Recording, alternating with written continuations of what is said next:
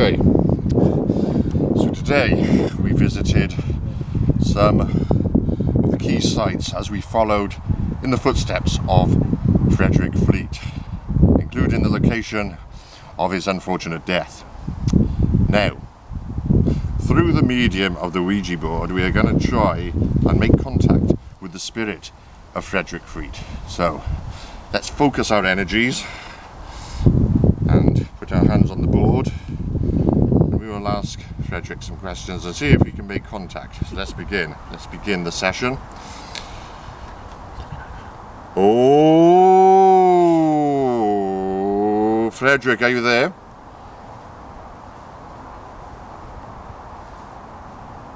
Move the planchette to show us your uh, presence if you are there, Frederick, or any other spirits.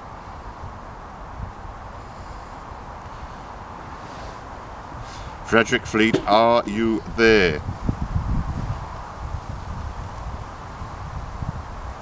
Have you got a message for us from the afterlife?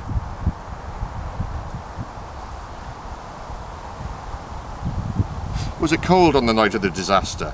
Please tell us.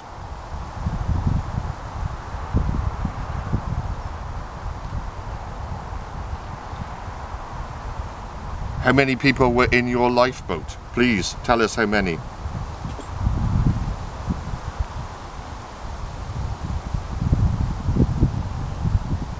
Would these have been any use for you on that night? Huh?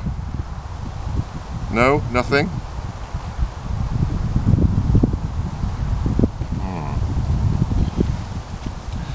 Did you? Not too responsive. No. Did you encounter any hardships after you referred, returned from the disaster? Please tell us. Yes or no? For fuck's sake. Perhaps he's engaged. Hmm. Do you regret choosing a career as a seaman?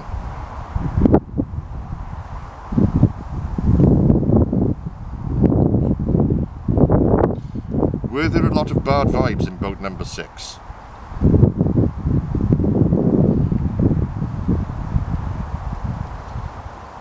Hmm. Is the James Cameron film an accurate description of what happened, or is it just a load of wank?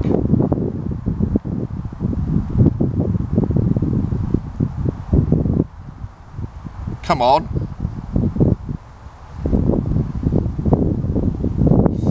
No, we're just pissing in the wind here, innit?